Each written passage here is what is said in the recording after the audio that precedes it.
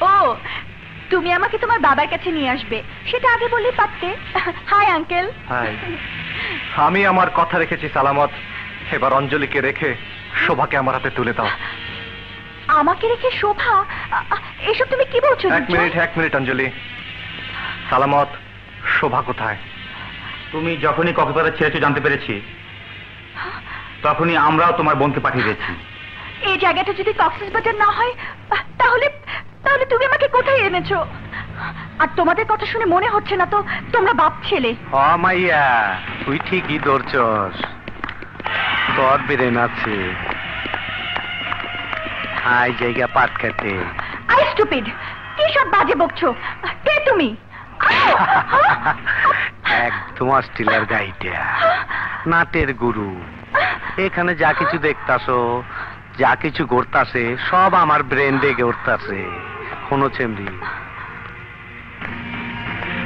এই বেটা ওর আসল বাপ না। আর তোর হিরুটা ওর আসল পোলা না।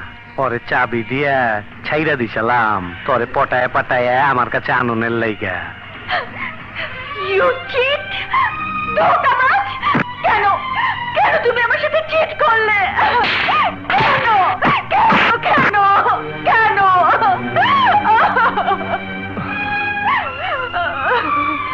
আমার আমার উপায় নেই অঞ্জলি।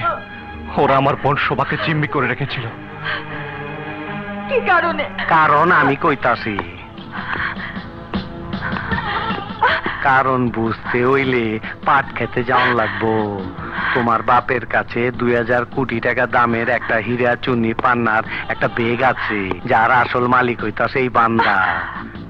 ওর বাপের মালটাই তোমার বাপের কাছে। এখন তোমার জীবনের দাম হইতাছে ওই হীরা চুন্নি পান্না। বাস, এইটাই ফাইনাল। তোমার কথা শেষ হয়েছে? অঞ্জলি এখানে কতক্ষণ থাকবে? যতক্ষণ ওই মালটা হাতে না আইব ততক্ষণ। এইটা বোঝো না আমার হিরো। চব্বিশ ঘণ্টার মধ্যে আমি ওগুলো নিয়ে এখানে ফিরে আসছি। তাইলে তো ভালোই হয়। তাড়াতাড়ি কিচ্ছা খতম হয়ে যায়। আমি ফিরে আসার আগ পর্যন্ত অঞ্জলি তোমার কাছে আমার আমানত। ওর কোনো ক্ষতি হলে তোমাকে পৃথিবীর যে কোনো প্রান্ত থেকে তুলে এনে জিন্দা দাফন করে ফেলব। চিন্তা দাপনের কথাটা মনে করাইয়া ভালোই করছ। যাও মনে থাকব। অঞ্জলি ডোন্ট ওয়ারি হে নিশ্চয় কোনো পাপের প্রাশ্চিত্য হ্যাঁ, আমি পাপ করেছি অন্যায় করেছি তারই শাস্তি আজ পাচ্ছি।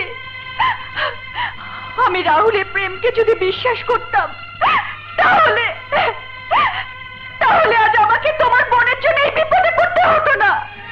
অঞ্জলি হয় তোমাকে এখান থেকে মুক্ত করে নিয়ে যাব। না হয় তোমার সামনে নিজেকে নিজে লাশ বানিয়ে দেব। কান্দো না কান্দো না কান্দো না।